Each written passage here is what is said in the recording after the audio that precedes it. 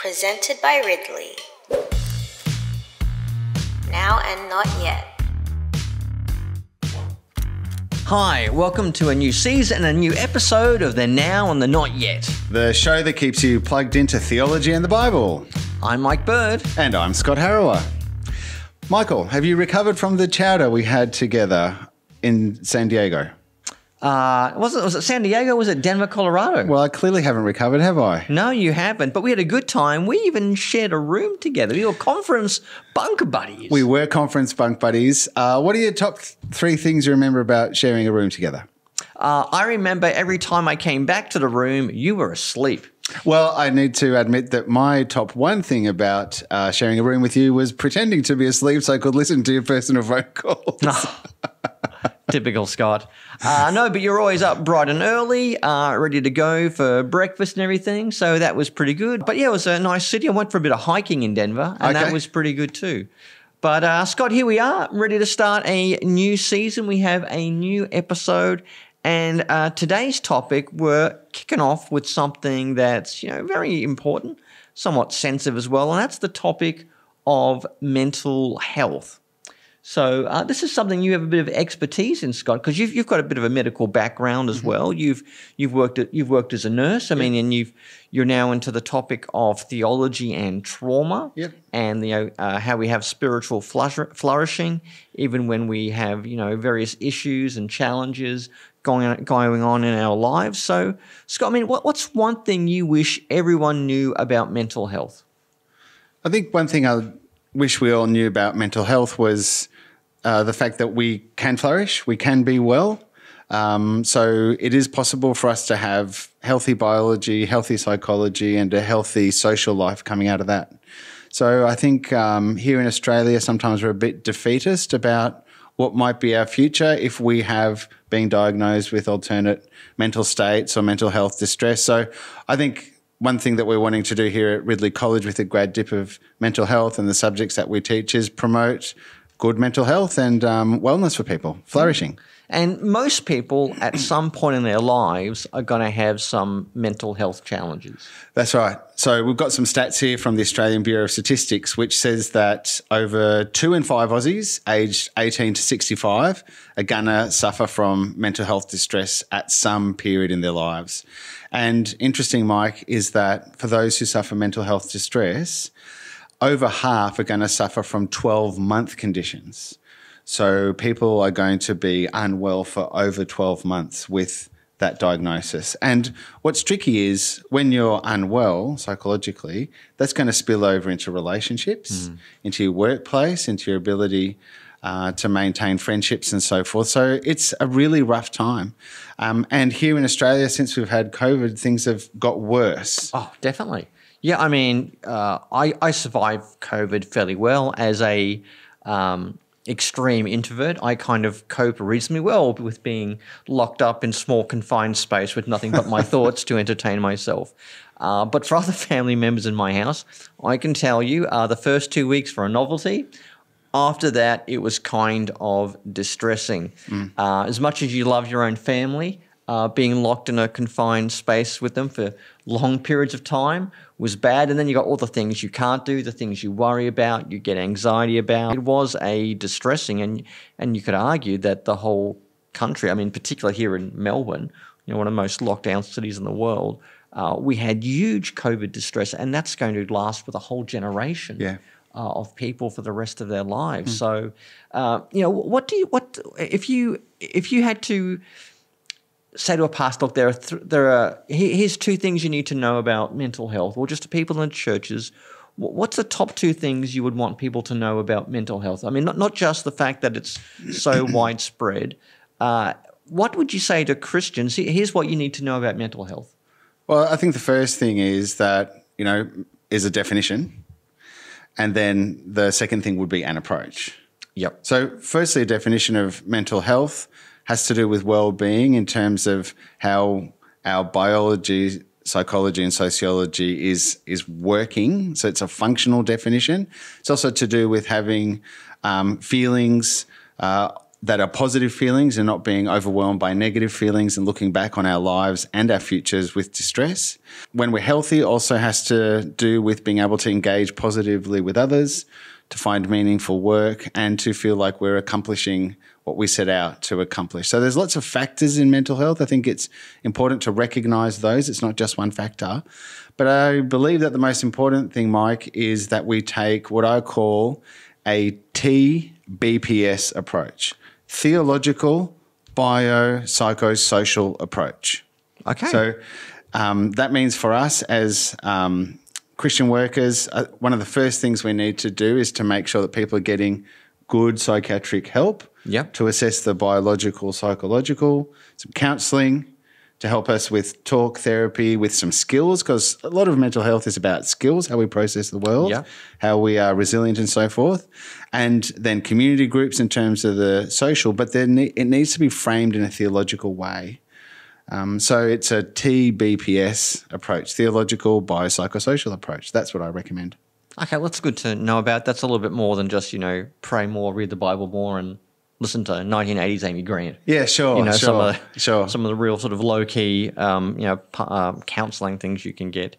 Uh, I mean, you, you've mentioned that we need a theological framework, but there's also a thing about spirituality, and you know, there's been a great many Christians, um, you know, throughout the centuries who have been great Christian leaders, either in like theology, ministry, or missions, but many of them have had lifelong mental health challenges. Exactly. So Uh, Luther, for example, Luther is one. Um, I mean, is is there a spirituality of mental health? Is there is there is there an influx? Because we often might think that any illness is because there's something wrong with me, something bad, something deficient, some something sinful about me. Where you know mental health can just be part of the the, the, the course of our lives and and how we interact with the world. What do we what do we need to know or understand about spirituality and mental health? Well, I think one of the big things to know is that that we're made in God's image, and that means that we're made for God's presence within. We're made for flourishing relationally, functionally, morally, and in terms of understanding the world. And when there is a situation or social structure that's impeding that flourishing, it's very painful for human beings because that's how we're wired up. So, a spiritual understanding of the person helps us understand our breadth, which then in turn helps us understand why it's so painful when we're experiencing alternate mental states, which mean that we can't relate to others in a way that we might otherwise. We can't carry out those things that we might otherwise. We don't understand and perceive in ways that we might otherwise. Or we may feel entirely distant from God, and therefore our faith just drops away. So mental health has tremendous impacts on people. And I'm really huge, Mike, on the fact that we need to understand the work of God, the Trinity, with us as a tremendous resource. And I'll just give you one example. Great. Jesus is God the Son incarnate. He is a living human being and he is a person just like you and I, but is, he is the one trustworthy person that there is. He calls himself our friend as well as being our Lord. So in Jesus, we have a trustworthy friend. And I think it's key for us that in, in the valley of darkness, we are encouraged by others when we can't do it mm-hmm. ourselves, and when we can do it ourselves to a certain degree, to actually reach out to Jesus as a friend and have lots of reminders in our lives of his friendship. Could, could you add to that the Holy Spirit as our comforter, as oh, our absolutely, absolutely. There's ton, tons of things. I was just mentioning one, Yep. and centrally, Jesus, our friend, is is important. Obviously, um, the Spirit, and then the community of the Spirit too. I, I just think sometimes we feel like when we are unwell, the Christian faith has very little to offer. But I want to say that interpersonally, God Himself, particularly God incarnate in Christ, has a lot to offer us as a deep friend and Lord in the midst of mental distress. And the Lordship part's important. Yeah. He's not just our friend who can't do anything about it. He's actually the Lord of history, which means we're going to see him at the end face to face in heaven. But he also has the power to shape history, even when we're unwell. And I think that that's the best kind of friend we could have, Mike. Well, for people who have their own dark night of the soul or feel like they're in the slough of despond, anything from anxiety, I mean that's that's that's good to know that you know it's it's it's normal, it's part of life. There's nothing to feel guilty about, and there is there is help. There's good Christian counsel out there if you seek it. So great. Yeah. Well, thanks, thanks, Scott. That was great. No worries. Thanks, Mike. Hi, friends. Hope you're enjoying the show. And if you are enjoying it, hit that subscribe button. And don't forget to share with your friends if you think they'll enjoy it too. And especially leave a comment or question. We'd love to hear from you. Scott, many people can experience dark times in their life. I mean, it's not just you know mental health. Uh, there's trauma. There's you know things that you know happen to them, happen around them, Yep. which raises the question of evil. And when people think of evil, you can think of like, you know, supernatural evil, um, personal evil, spiritual evil. And when you get on this topic, sooner or later, you're going to deal with the topic of Satan. And uh, I, I was once interviewed um, by someone who asked me very, very mockingly, Did I believe in Satan? I said, do, you, do you believe in Satan? And my answer to that was, uh, Yes, of course. I've been to America, you know, where he has his throne. So, of course, I believe in evil. I've been to the great Satan itself. We've been to Babylon. I've been to I've been to Babylon, man. I've seen I've seen the heart of darkness. Uh, but but more seriously, um, you know, what, what do we what do we make of of, of something a, a topic like Satan? Is this just sort of you know uh, a mythology? You've got to got to have a, a villain in the story. You know, uh, you know, in, in I mean, in, you know, in, in the Bible, you know, we talk about how um, Satan kind of evolves from this sort of, you know, angelic creature to a tempter, uh, and is then pitted against God and Jesus. And you, you, know, you can see in, in different literature in the Hebrew Bible and, and the New Testament, and uh, Satan becomes the sum of all human and supernatural evil that there is. We're, um, so, do you mean, what do you mean when you say he evolves and he becomes the sum of evil? Or well, you can see how that you get more and more information uh, coming across uh, the Bible, ranging from the Book of Job, where you know Satan wants to go and test um, Satan. I mean, Satan really means you know the, the, the tester or the tempter. Uh, but then in subsequent literature, he takes on an increasingly um, more active role uh, in the presence of evil behind this world. Yeah. Okay, and so that's that's what I mean by a kind of you know evolution of the character. You, you, call this like progressive revelation. Yeah, you get more and more. So what you get in Job is very is different, or it's sort of developed further from what you say get in the in the Book of Revelation, where the Roman Empire, uh, its idolatries, its violence, is at one level a manifestation of human evil, but behind the scenes there is something far mm, darker. Mm, mm. So, uh, in, in theology, in theology, you know, what are some different approaches to Satan understanding that whole realm? Well, I mean, one of the principal ones is, as you said, taking Satan very seriously as a personal agent mm-hmm. made by God. So he's he's a creature, Yep. yet he is outrageously powerful. So he is a immaterial spiritual being with an intellect and a will and the ability to shape actions in the world. And he can do that directly and indirectly. Yep. So he's not to be trifled with and he's incredibly powerful. And one way to understand the story of human beings is to understand us as actually caught up in a much grander cosmic war between God and Satan. Mm-hmm. So, yes, we understand that, that Jesus only takes on a human nature, so he affirms how important we are, we're saved by God, and so forth. But the whole reason why it's all a, a difficult time right now is that there are these dark powers at war with God, and we are these poor little humans caught up in this larger conflict. And what I like about that approach, Mike, is that it keeps the spiritual on the table. Yep. So, but d- does that lend itself though to a type of you know Frank Peretti, this present darkness, where there's like you know demons you know behind the pot plant, and you know, and like our prayers are like the artillery that God needs to blow apart the demons. And if we're not praying, then God can't defeat the demons because we're not praying enough. I think where I'm taking my cues from is um, first to third century Christians, Yeah. basically, who, so Clement of Alexandria, for example, they never lost sight of the fact that we live in a realm uh, replete with angels, archangels, Satan. And if you want to understand history and the way that we're constituted as people and why we behave in the ways we do, you do need to take the demonic into account, together with the work of the Holy Spirit, of course. And it just gives us a way of explaining the otherwise unexplainable. Why Yep. terrible things happen, surprising things happen.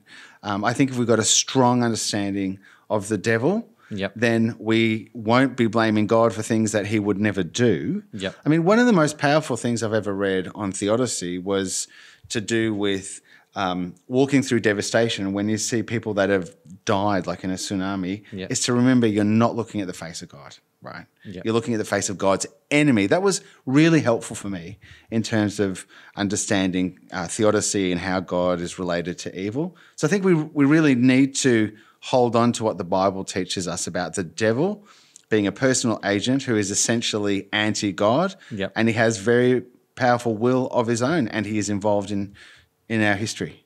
Yeah, I like everything you said, Scott. I, I think there is the contest between God and Satan. The only thing I want to emphasize is Satan is not in God's league.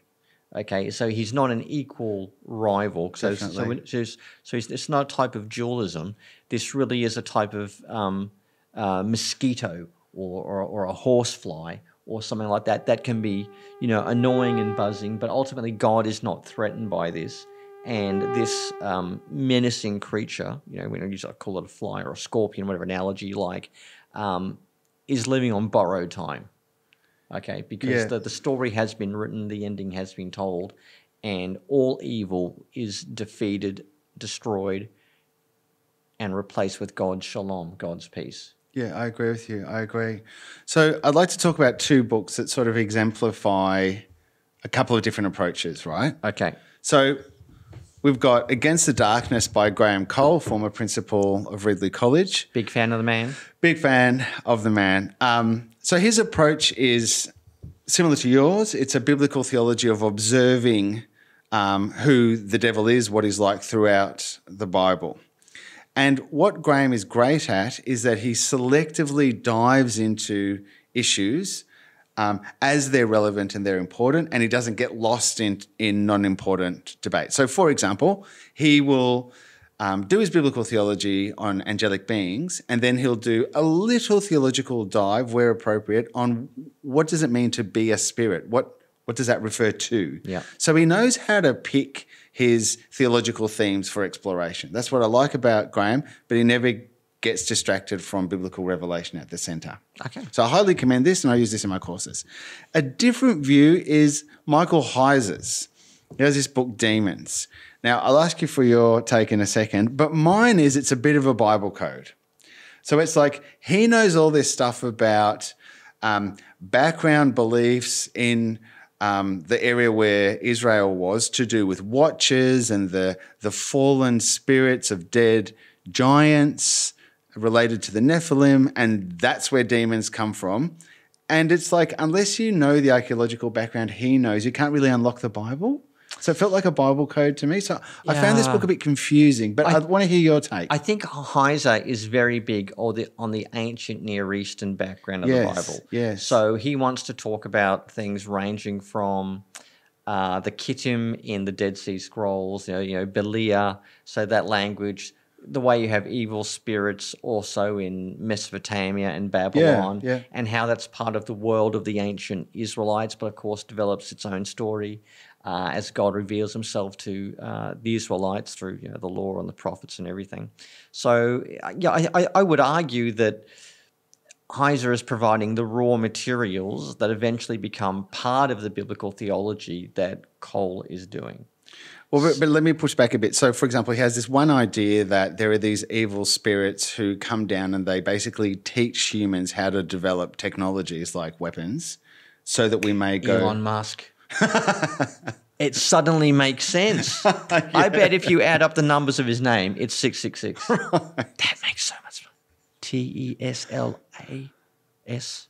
No, Tesla's only got five letters. Okay, anyway. okay, I'm with you. Um, So, I'm with you. so for example, he says we, we need to understand that really it's the demonic that are behind uh, humans developing technologies of war once they're outside the garden.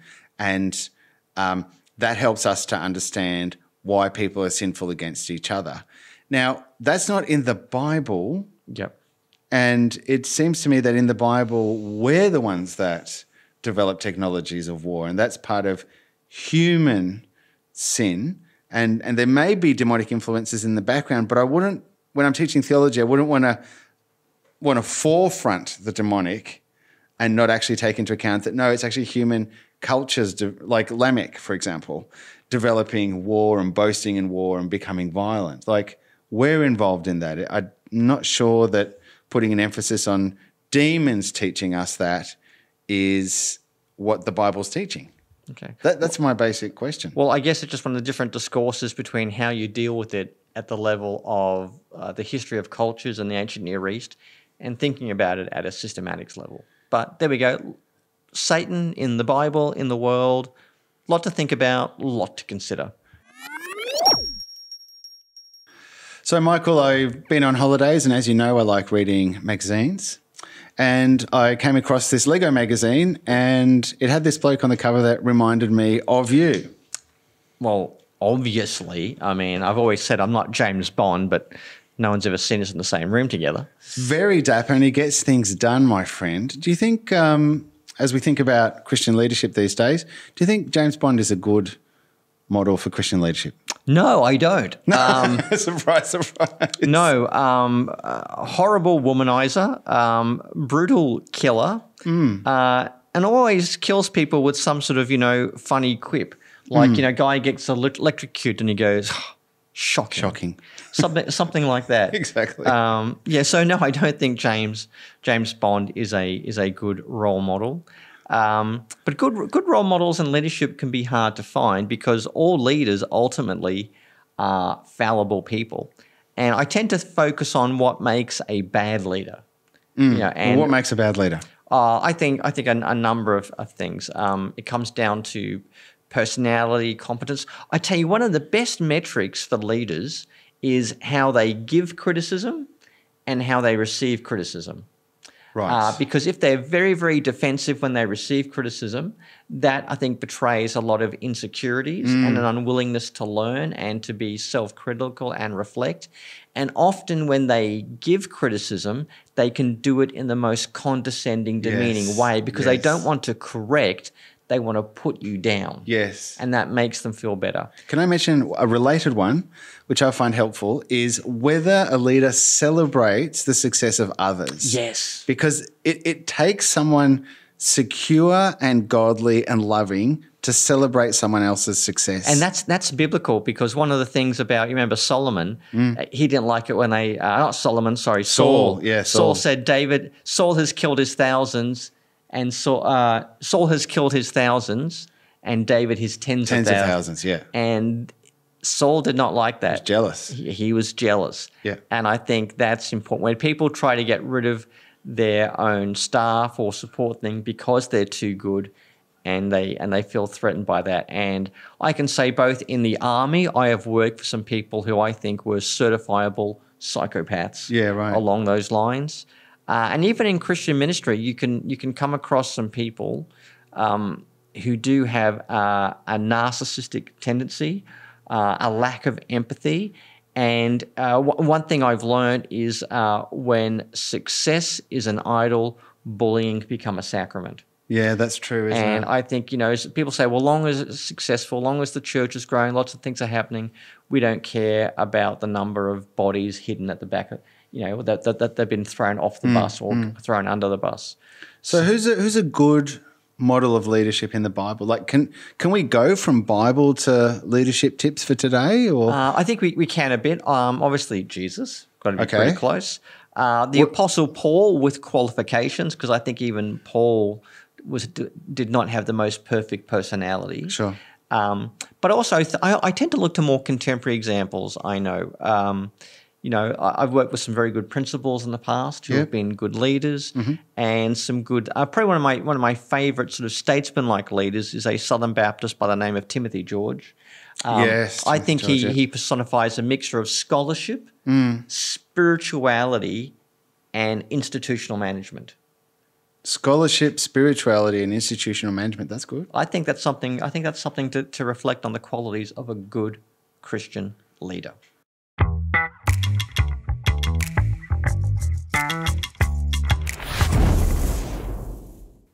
One of the things we want to do here in the now and not yet is resource you. And it's one of the things that it seems that people appreciate the most as we resource you with good books. So I'm going to briefly work my way through a pile of books that I've found helpful in terms of dealing with theology and mental health uh, for teaching and also for ministering and recognizing what the issues might be. So, Theology for Psychology and Counseling. This is a very helpful book. It's just come out. Um, what's good about this is that the authors understand that God is at work throughout the world. They understand common grace and they also understand the work of the Holy Spirit, and that being involved in the work of helping people um, in mental health distress through counseling and psychology and ministry is largely joining in with what God might be doing through His Spirit and the faculties of human beings together as they walk towards health. So, let me give you a little analogy that I found was really helpful. They spoke about the fact that often in our efforts in counseling and psychology and theology, we feel like we, we may help people take a small step, but that, that's lost. So, they speak about think about your efforts helping people as a little breath that we might see on a winter's morning. And that breath is caught up in a larger wind, right? That's how they see our works in psychology, counseling, and theology. We contribute our little breath, and the larger breath of God, the Holy Spirit, includes that in what God is doing. So, as much as anything, this, this book is an encouragement to persevere and to understand how our efforts in the realm of mental health may be included in God's efforts to bring flourishing to people. That's a really good book. Um, this uh, volume by Hathaway and Yarhouse, it's um, a book that helps you understand how to bring together the domain of psychology and the domain of theology. So it's a methodological book. If you've got questions about how these two domains of science might work together, this is the book for you. If you've got questions about thriving and flourishing and why is it that we're struggling to thrive and flourish, well, then there's this excellent book by Justin Barrett and Pamela Ebstyne King. These are teachers of mine. Um, I find their approach is great. They're evolutionary informed psychologists, and they basically think that there's a gap between the way we're wired up and the way we live, and that's why we're not flourishing. So, for example, each of us, Mike, have got a special part of our brain that's designed to remember information about people. So we've known each other for a while, and I can remember things uh, you've said about your family, your kids, your likes and dislikes. Yeah. Yeah. But I can only do that for 250 people. Once I'm beyond that, it's actually stressful for me to relate to people. So the question that these psychologists ask is if our brains are wired up to live one way, but we live in cities where we meet 4,000 people a year and that's stressful, what do we do about it? And the big question is do you try to adapt to a world that you're not used to or not designed to live in? Or is there another way? And I'd like to suggest that there's another way. There's a History of Madness book, which is very helpful, and it helps you understand some of the biases that might have been built into how we understand mental health and mental distress and alternate states of life. This this is a hard book to read because it goes through the history of medicine, a lot of hard things that have happened. But if you want to be informed in terms of the history of psychology itself and medicine to do with mental health, very helpful book. The final one I'd like to recommend, which I think is the most relevant to this whole domain and our participation in it, Mike, is um, Working with Spiritual Struggles in Psychotherapy. And this is a book by Exline and Pargament, where they talk about the fact that when Christians suffer, we suffer biologically, psychologically, and socially. But when we have mental health distress, we have an additional layer. That's the spiritual layer. We have spiritual religious struggles to do with, with where is God in the situation? Um, why isn't God apparently caring? We have issues to do with the demonic. Is, am I being afflicted by demons here? Is there a moral aspect? Did, did I bring this on myself? And these are all questions that non believers simply won't have. So the big argument is that we need Christian counseling. They're not Christians because you need to be able to unpack your religious struggles with people that understand your religious insights. So they actually make a great case for the need for Christian counseling in the midst of mental health crises. It's a unique book that addresses why it's so difficult to suffer as a Christian. Excellent resources, Mike. Yeah. Well, my one book I want to recommend is by Zachary Wagner called Non Toxic Masculinity. We've heard a lot about toxic masculinity. Um, Zach does a great um, rundown on why toxic masculinity is a problem and how to be better men. Uh, how do we have a post patriarchal manhood? Great book, thoroughly recommended. Well, Scott, that's the end of episode one. We've covered a lot. We've talked about mental health, the demonic. Uh, we've even covered leadership and checked out a few good books. We have. Well, if you enjoyed that, we look forward to seeing you on the next episode of the Now and the Not Yet.